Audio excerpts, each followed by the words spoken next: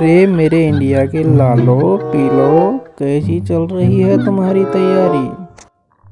अरे धोनी भाई, आप टेंशन क्यों ले रहे हो? मैं अकेले ही हरा दूँगा जिम्बाब्वे टीम को, क्योंकि मेरा नाम है सूर्या दादा और ये है मेरा वादा। अरे सूर्या, मुझे है तुम पर पूरा विश्वास, और तुम अकेले ही जिता सकते हो मैच, पर यार एक और समस्या हो सकती है। थोड़ा जीतना रन रेट के अनुसार मैच, क्योंकि अगले मैच में हो सकता है गड़बड़।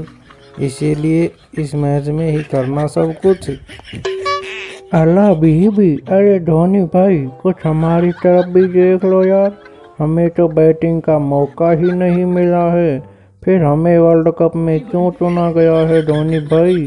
अब आप ही बताओ और इन्हें समझाओ, हमें टीम में खिलाएँ। अरे हाँ भाई पंत, मैं देख रहा हूँ यार, कुछ दिन से तुम्हारे साथ नाइंसाफ़ी हो रही है।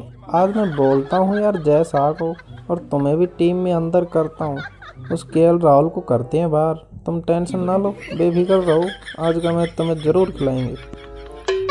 अरे शुक्रिया धोनी भाई, आपका बहुत बहुत शुक्रिया जो हमें मैच में खिलाने की करी है बातें, वरना तो ये हमें पानी पिलाने के लिए ही रखे हैं। और आपका बहुत बहुत धन्यवाद, जो टीम में करवा दोगे सिलेक्शन अरे धोनी भाई, इसको क्यों खिलाते हो यार तुम? इसको भगा दो यार। इसको पानी पिलाने के लिए ही लेकर आए थे, वरना खिलाड़ी तो संजू सैमसन नहीं था क्या? उसको लेकर आते यार।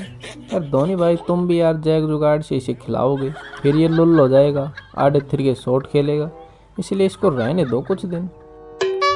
ओए होए, कोहली भाई, अब तो आप भी बोल रहे हो। जब आपका बल्ला नहीं चल रहा था तो हमने ही आपको सपोर्ट किया था।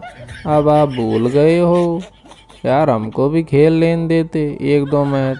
वैसे हम कहाँ कह रहे हैं कि हमें फाइनल खिलाओ।